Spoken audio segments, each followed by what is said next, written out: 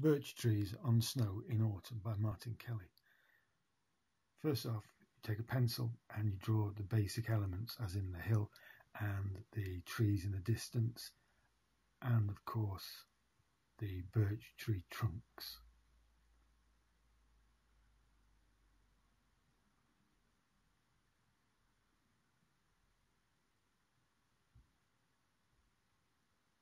Take a sharpened candle or similar and in the underparts of the trees on the hill make some small marks which hopefully will work as a wax resist and it'll be light hitting. Then take some masking fluid and using the end of a brush or a piece of wood or stick put the masking fluid on. It's poisonous, it's ammonia based, so don't drink it or anything like that. Turn the paper around if you need to so as to access certain lines more easily, like the hill.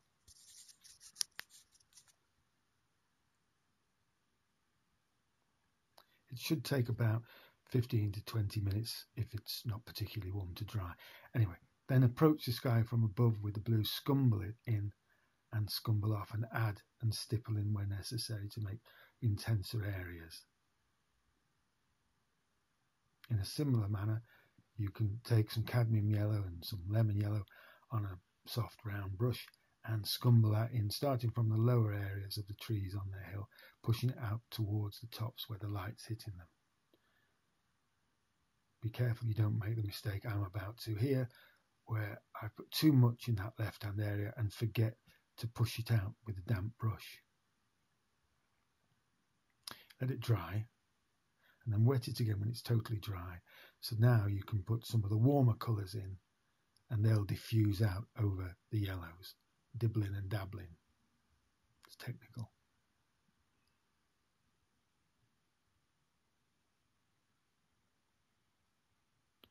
Let it soften off, soften some of the edges, add, and then think about getting a stronger red or reds.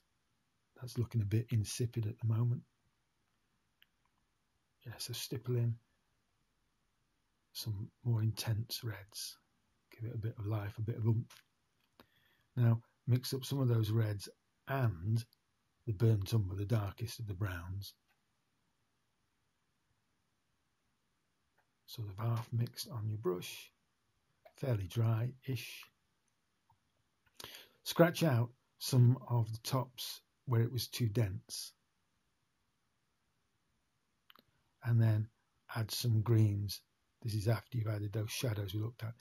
Also, you've scratched out some of those marks you made with the candle.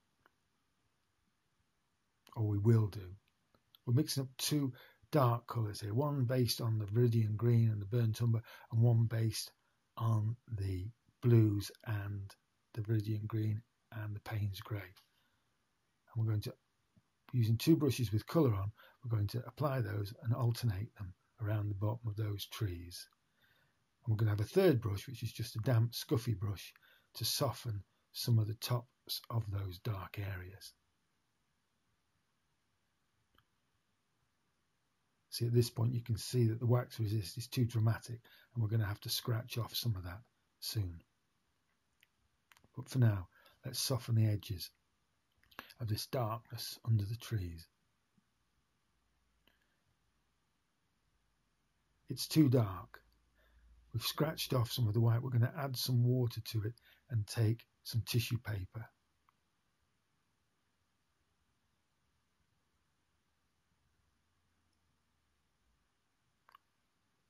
Let the water sink in and then dab away. It was just all a bit too dark and intense would be better if I'd put it on as a thinner puddly wash. Right, we've got a problem from the top left with the sky. So we take a damp brush, fairly stiff round, and we stab into the edges of those blues gently, but we'll get rid of that nasty shape. And then we can start to, when all the paint is dry, to roll off the masking fluid. Careful going down the trunks so that we don't tear any edges. This has been on for about a day, or two days at that point erase any pencil lines that are annoying. And in that left-hand tree, we notice that there's too much blue in the upper end of it. So we're going to take a damp brush, fairly stiff round, and we're just going to work against that blue and try and lessen it so we've got more of a trunk. Okay, we're going to scratch off a bit more of the tops of those trees because they're all a bit dense and some of the pencil marks were under the paint and we couldn't erase them. Well, I couldn't. So this gets rid of them. Now we're going to scratch with a, that was with a craft knife. This is with a craft knife. We're going to scratch in some lines and scratch away some branches appertaining to the birch trees.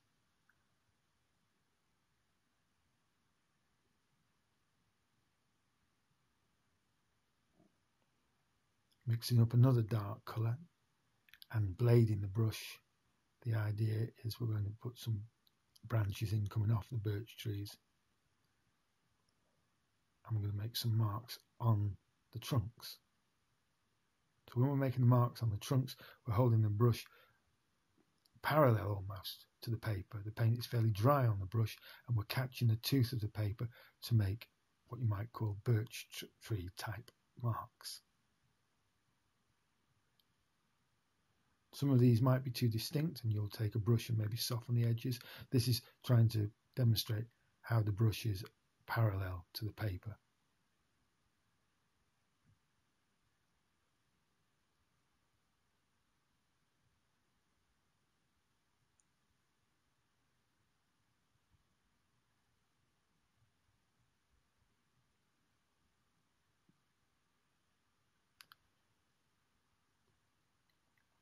Let's mix up another colour.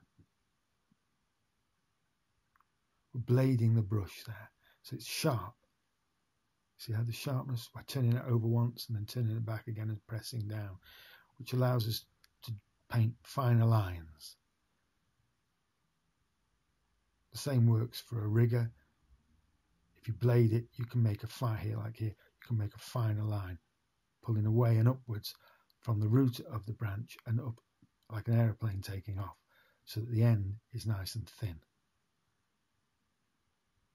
I'm going to add a little bit of water and some brown to that colour and make the dried up grass that comes out of the snow.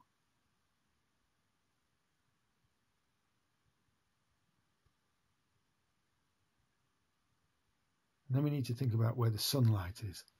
It's somewhere above our right hand shoulder.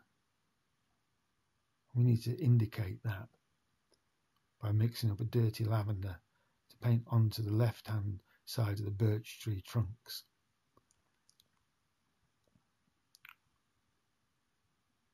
But the edge is too hard on the right, so we'll take a second brush, a damp brush, and very gently run that brush up along the right hand edge of the paint we've just put on. We don't want to activate any of the colours underneath, so be gentle.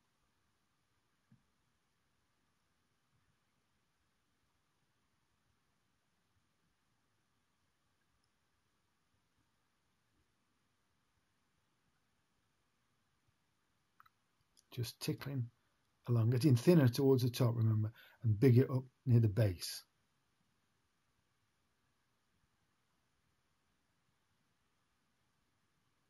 Trees cast shadows, so we'll take some of that dirty lavender and remember the snow is coming and going. It's not superbly smooth, so you can be fairly coming and going with the paint. That was too much there, that needs to be dealt with.